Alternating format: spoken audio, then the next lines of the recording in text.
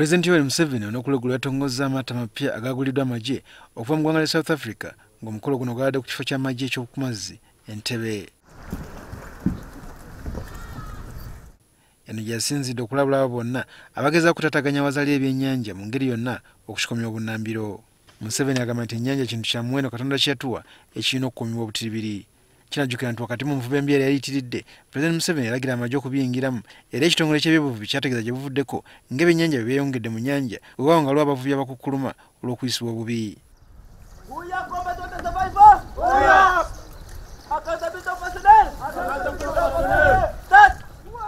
Abasirikale bano boolesezza obukodyo obw'enjawulo omuli n'okulaga bali ku maato nga bakola emirimu gyabwe. Bano era balaze ne basobola okubbira singa babaawo obuzibu bwonna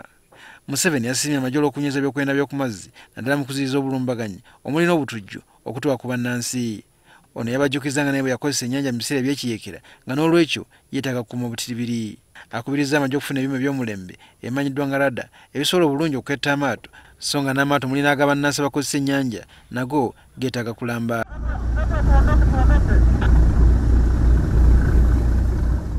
abakalaatidde okulagana ne kampuni ya impala gye baakwataganye nayo mu kugula amaato gano okulaba oba nga gasobola okukolerwa wano